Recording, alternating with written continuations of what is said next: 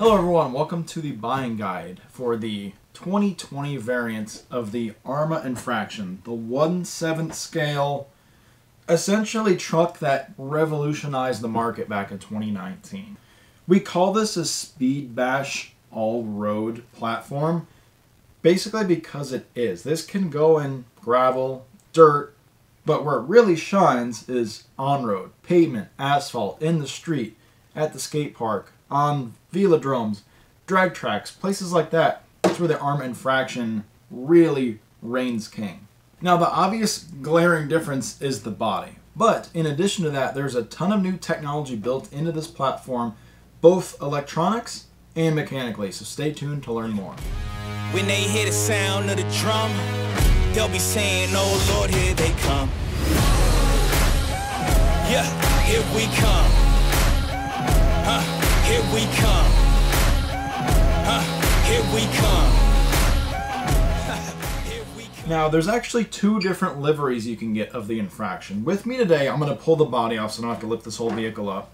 Is I believe we call this the silver variant, where most of the vehicle is kind of a like a matte to flat gray silver, but there's also this really nice, almost kind of American flag type look up here where you have like a matte blue stars and stripes uh, with the red and white, obviously.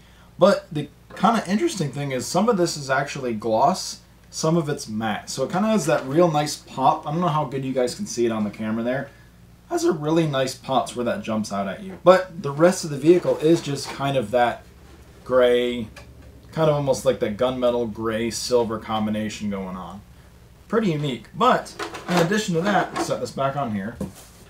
There is this blue variant, which is used on the front of the box. I'm going to block my face here. So now you actually have two different options, which is really cool.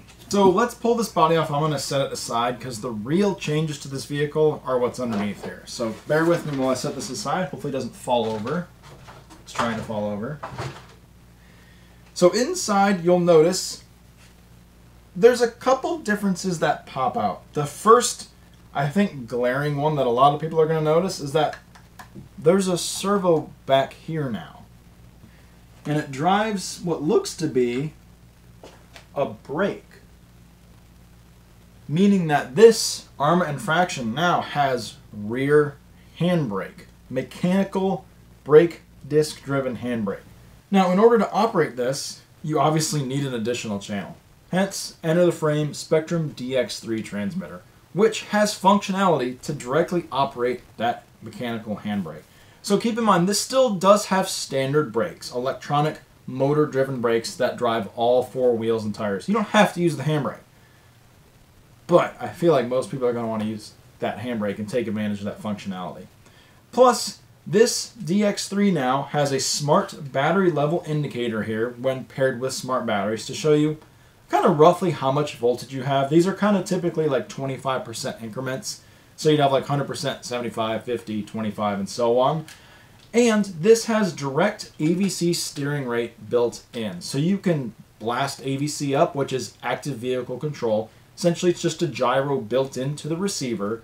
Or you can turn it all the way off and really unlock the craziness that is the Arrma Infraction.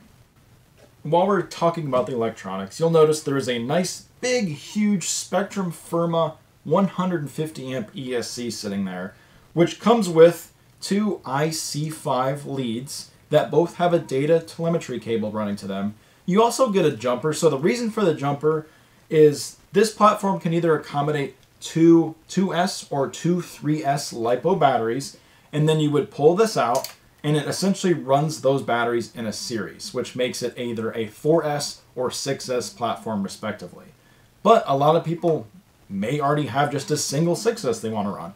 Throw the jumper on there, and then you just can run that single one-sided 4S or 6S battery. So that's pretty neat. But like I mentioned, you do have that extra gray wire in there, which is what drives the battery telemetry, or I'm sorry, the battery data to the telemetry built into the receiver, which then talks to the DX3. And then keep in mind, this same system will operate on any smart enabled transmitter in addition to this. So DX5C, the smart version, DX5 Ruggeds, DX5 Pros, and so on. And last but not least, we have that nice Spektrum 2050 kV brushless motor bolted onto this platform. Now, what that is able to do is push this platform to 80 plus miles an hour, assuming you have what we call optimal conditions. And what that means is you're running a, a good 6S battery, 50 or 100C, or two 3S batteries, 50 100C. You don't have a headwind, there's a nice smooth road, and keep in mind, you need to run that speed pinion that's included in this bag. So please, when you get your infraction, open this bag. There's a lot of goodies in there. The pinion that's on here is more of an all-around bashing pinion that's going to keep the motor temps cool. It's going to be more for just general average everyday use. That speed pinion is what is needed if you plan on doing all-out speed runs. So keep that in mind. You can kind of tailor this vehicle to how you plan on driving it and where you plan on driving it. So with this being a ready-to-run rig from Arrma, uh, the vehicle arrives pre-assembled just as I pulled it out of the box here with the Spektrum DX3 transmitter. What you need to provide is double A's for the transmitter, four of them, batteries for the vehicle itself, so like I mentioned, either two 2S packs, two 3S packs, or a single 4S pack or a single 6S pack. They need to be an IC5 or EC5 connector unless you plan on changing the connector itself, which then you kind of lose some of the technology that's built into this as well. Then, of course, you have to have a way to charge that. So, any commercially available LiPo charger. Aside from that, everything's here. You're you're assembled. You're ready to go. You could literally go to your hobby shop or order this online at HorizonHobby.com and be up and running within a matter of minutes from getting home. It's really cool. Aside from that, that really kind of sums up what's new for the infraction. Now, what we didn't get into is all the nitty gritty details that we really dove into with the Gen 1 infraction. So to learn more about the suspension, the, sh- the shocks, the geometry, what you can adjust, the diffs, the durability, the chassis, the really the nuts and bolts of the platform itself, check out the deals on the website. We'll put a link in the description. And then please, we encourage you, check out the videos that everyone was making on the first gen infraction, which came out about a year ago, mid 2019. I'm not talking about Horizon Hobby videos. I'm not only talking about Arrma videos. I'm talking about customer videos. Guys were taking these things and doing amazing things. Crazy smoky burnouts, huge speed runs, just general chaos with these trucks. Oh, and keep in mind that you may, pro tip, want to order extra set of tires because you're probably going to get a little overzealous with this and end up needing them rather quickly. So, uh, Aside from that, that is the buying guide for the Arrma Infraction 1/7 scale. I've been Kyle. If you have any other questions, comments, concerns, please leave them below. Otherwise, we will let you go. And make sure if you're watching on YouTube, you subscribe because we're going to have a lot more buying guides in the future. So thanks for joining us and have fun with your new Arrma Infraction.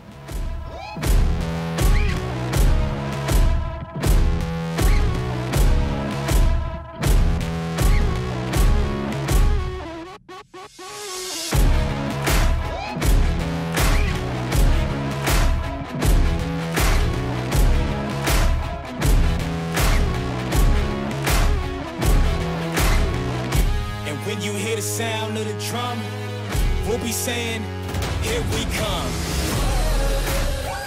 Hey, here we come. Here we come.